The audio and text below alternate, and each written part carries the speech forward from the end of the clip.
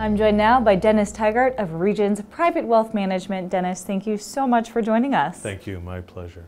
And Dennis, you specialize in helping business owners, so I wonder what are some of the unique needs and things that are top of mind for business owners? Sure. Um, so, so business owners really have two sides. There's the personal side um, that everybody thinks about, and you know what does an individual need. But the business owner has their own very unique needs that can't be separated from the personal side of their life, but are often served in a slightly different way. So business owners think about when I'm growing my business, um, I may need access to capital to grow it, to expand it, take on a new line, new location. Um, so having a resource to provide them that capital on the timeline that they need is critically important. The, another one is how do I recruit, retain, and reward key people? Because the drivers of successful businesses are the employees. Uh, so how do I do that? Um, you know, what kind of plans do I have to have in place to secure those employees so they feel this is the best place to work? Retirement planning. For my key executives, what can I do that's different than the norm. They may have different needs.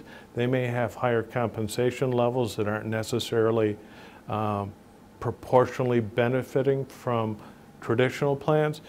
Should I have executive benefit plans of some kind of in place? What have I done for myself as far as retirement? Um, buy-sell agreements. If I have a partner and that partner dies or leaves, what's in place to make sure that I control the future of the business and the ownership of the business. So there's a whole plethora of different needs that business owners have that we can help with. The challenge from the business owner side is they're busy. They are running hard, their head is down, um, they are the business. So our opportunity in serving them is to help them think about those things and give them effective solutions. So certainly a lot of unique needs in addition to the needs that most people have. Very much so, very much so. To address those specific needs, what are some key considerations for business owners when selecting a wealth manager? Um, many of the clients we work with, we find that they have sort of bifurcated their advice. I've got my personal advisors take care of those things. But then if they're handling business, they're handling it separately. And the challenge with that is their life and their business aren't separate. Um, we look at it from a strategic perspective and say, how do those things intertwine? And how can we help serve all of those needs from the personal needs, you know, education for my kids, um, mortgages for my home, uh, retirement plans, the most effective way to invest but then also the business, because the business is a huge driver of it. Um, how do I finance my business? What are the value drivers in my business that I need to lever to improve the, the profitability of the business, the value of the business, all of those things. So it's, they're very intertwined and, and our feeling is you can't best serve those if you don't have your advice linked. And I'm so glad you mentioned them being intertwined. I wonder, are there any additional benefits for uh, using the same institution for business financing as well as wealth management? I, I think there are. Um, and the key to that is that the institution really needs to look at this as a relationship as opposed to how do I deliver products.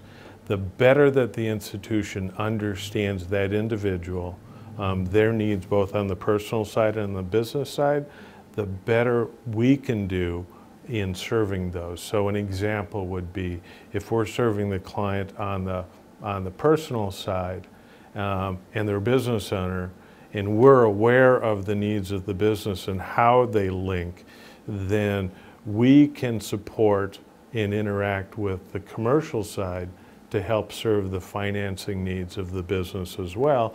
And it makes the decision um, on the business side much easier when we have the full balance sheet picture for the client. So I do think that that makes a big difference. A lot of intricacies too, I'm sure, in terms of how they're linked. Very much so, very much so.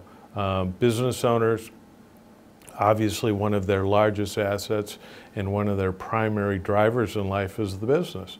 Um, so, how does that business serve the family? And ultimately, you know, 95% of businesses in the country are family owned. And so there's, uh, there's an interesting, everyone knows the Ben Franklin, there are two certainties in life, death and taxes. Business owners have a third, and it's the fact that 100% of businesses will transition. The question is, who will control that? So how that transition will occur um, is critical to the success and livelihood of the family. So they're very linked and very complex in getting business owners who have been successful by keeping their head down, nose to the grindstone, which sounds very painful, um, but clearly it's what they do. Um, making sure that they think about that transition, how, who, when, and start to think about it early is critical to the whole, the whole value proposition for the client. Love the uh, Benjamin Franklin quote in there as well. Yeah, I'm sure, I'm sure he would have taken credit for it because I believe he was a business owner too. And finally, Dennis, I wonder what's your outlook for small businesses from a wealth management perspective? You know, I, I think the outlook is, is tremendous. Um, we are becoming a small business driven economy.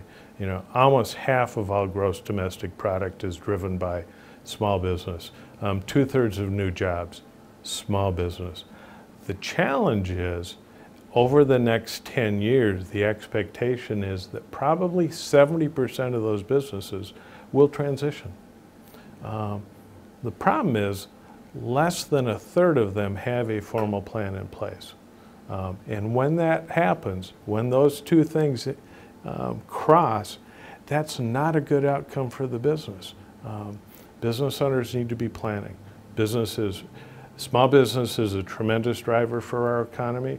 Um, more and more individuals are choosing to work in small business or create small business.